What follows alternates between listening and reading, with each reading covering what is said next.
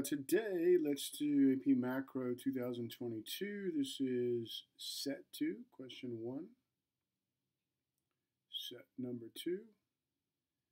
All right, assume the United States economy is in a short run macro equilibrium at an output level greater than potential output. Again, this is a bit of a game with the College Board. They like to play our output, our current, let's call it our current output current output is greater than potential output. Potential output is another way of saying full employment. So we have more output than full employment. We are greater, we're doing much better. So this is what we would call an inflationary scenario. They want us to draw a graph of it, easy enough. So we're just going to draw a nice little Notice what I'm doing here. Price levels on the vertical, real GDP on the horizontal. I always start with price level, or sorry, long run aggregate supply curve is vertical. Here's my short run aggregate supply curve. And then I'm going to draw in my aggregate demand. Now, anything on this side, when aggregate demand hits that short run aggregate supply curve right there, that shows that we're in an inflationary gap. That point right there is what we would know of as full employment. Our output is much higher than full employment. Full employment is always right under your long run aggregate supply, and it's WF, whereas Y1, or sorry, W, uh, YF. W1 is where we currently are with our output, and it is greater than potential or full employment. Here's our PL1, Here's our Y1. We're definitely Y1 check, PL1 check, YF uh, full employment. We're all done here. Assuming that the government spends 100 billion on your graph, show how the short run effect of the change in government spending on the output and price level, label the new equal, yada yada. So the government is spending. Anytime government spending goes up, I know consumption goes up, that's going to make aggregate demand go up. Aggregate demand is going to shift to the right. Let's call that AD1, AD2. We show the shift. We know our outputs increase. Let's call that Y2. And our price level has to go up when aggregate demand goes up. We'll call that PL2. We want to show some arrows showing that price level going up, showing that output going up, showing aggregate demand shifting to the right. Easy enough. Some teachers don't like arrows inside the graphs. Hmm, do what your teacher wants you to do. All right. Uh, looks like we're good with that one. We're good with A. Let's look at C. Assume the marginal propensity to consume is 0.8. Now, anytime I see that, the first thing I think is your MPC plus your MPS, which is your marginal propensity to save. Marginal propensity to consume is 0.8. Marginal propensity to save is 0.2. These two together always equal 1. That's how I know that if this is 0.8, that's got to be 0.2, because these two always equal 1. Easy enough. So and I do know that I'm looking for a multiplier here. I mean, as soon as they gave me the MPC here, uh, and they say as a result of an increase in government spending, what is the numerical value of the maximum change in each of the following in the short run? We know that government spending was 100 billion. Um, so if government spending is 100 billion, my MPC is 0.8, my MPS is 0.2, right? So I know to find my multiplier, it's 1 over the MPS, which is 1 over 0.2, uh, which gives me 5. That is what we call my government spending multiplier, right? So if the government spends 100 billion, I'm simply going to take that 100 billion, multiply it by 5, and know that there would be an increase in real GDP of 500 billion. Easy enough. So real output's the same thing as saying real GDP. We could have said real output. That's going to be 500 billion. Easy enough. That's the maximum change. Now this is different. I've never seen anything like this one before.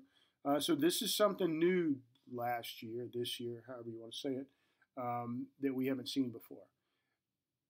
And the understanding, I think, should be that of every dollar spent, there's a possibility that 0.2 of it would be saved. If our maximum increase in output is 500 billion, uh, well, the maximum of household savings could be 0.2 of that, which which would be 100 billion.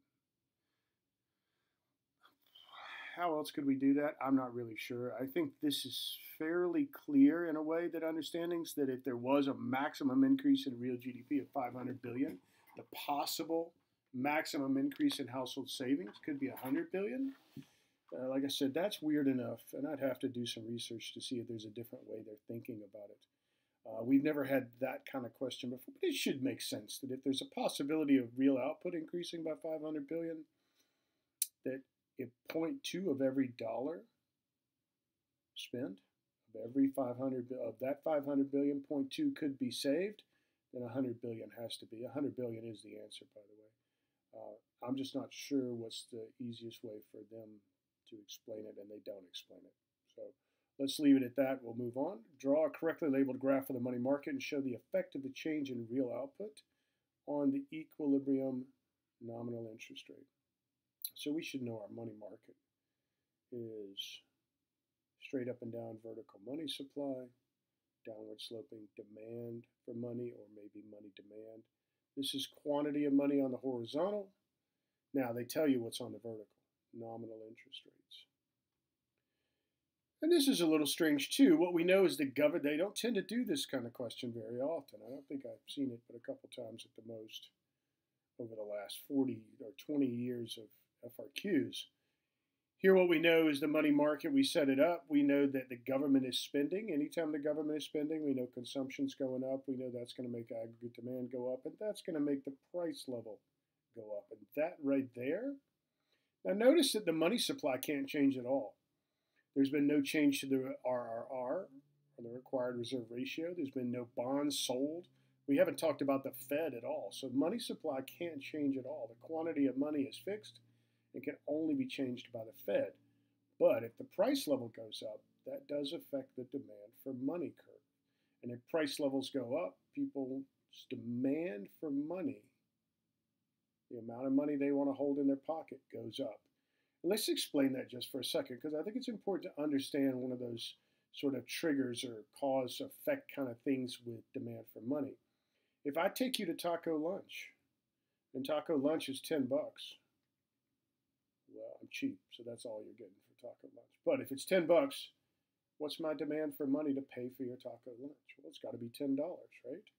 I've got to have the money in my pocket to pay for your $10 lunch. If next week we go to taco lunch and now it's gone up to $20, well, my demand for money to pay for your taco lunch has to go. I have to have $20 in my pocket to pay for that $20 lunch, right?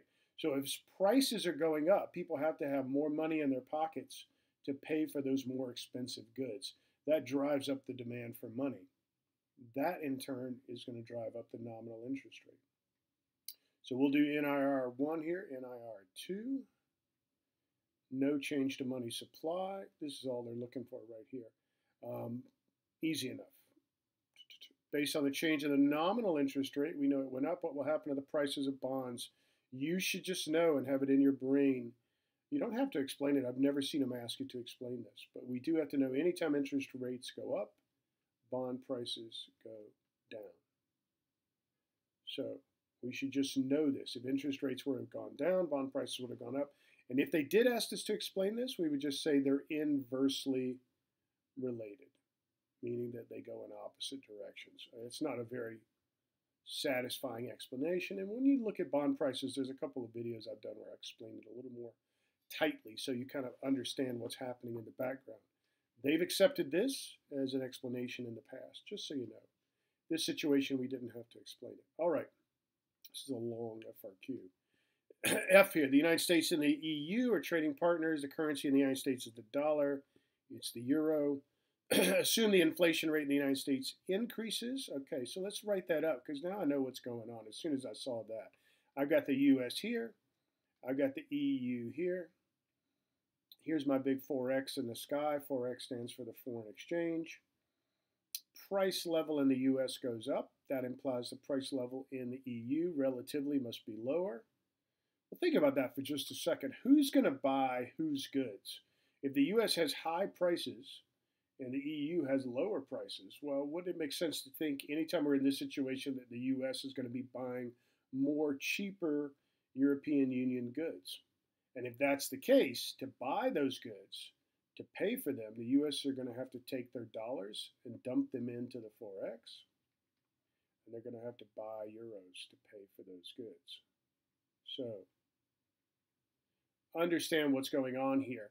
Now, the graphs here, we're talking about what's happening to the demand for dollars. And on the demand or the dollar side, now let's again, a foreign exchange graph is just supply and demand. It is what's it is the amount of currency in the forex, the supply and the demand for those currencies in the forex. So when we talk about the dollar, we're talking about what's inside the forex. So, and that's confusing, right? Because we got loanable funds with the money in the banks in the country. Don't think about that. This is only foreign exchange. I don't know why I brought it up. Um, only foreign exchange. So we're going to do both sides of this because you can sell, you can show either what's happening to supply or demand. In this situation, usually they let you choose, but in this situation, they ask specifically for demand for dollars. So let's see. First of all, let's label these correctly. If we're talking about what's happening to the dollar, right, we're going to have dollars on the vertical and quantity of dollars on the horizontal. And then that would be euros to dollars. Obviously, I'm still talking about dollars here. I'm just going to show another side, so it's the same thing here. Quantity of dollars, and then it is the euro to the dollar kind of sloppy, kind of small board we're working on here, but I think we can make sense of it. Now, if we're dump the U.S. citizens to buy those EU goods are dumping their dollars into the forex because they have to buy. They take their dollars, they put them in the forex, they buy euros, and then they pay for those European goods. Now, the first thing I think about and where I always go first, and you should always choose one and then just make it work in your brain. If money's going into the forex, I'm always thinking about the supply of US dollars in the Forex. If money's going in, that supply has to be increasing. Now, this is the one I would have always chose to explain this situation up here, but this time they didn't want they didn't let me choose. Notice what's happening to the value of the dollar. It's going down. As there's more dollars in the Forex, it drives the value down. Let's call that E1 and the E2 we'll show those arrows with the value going down.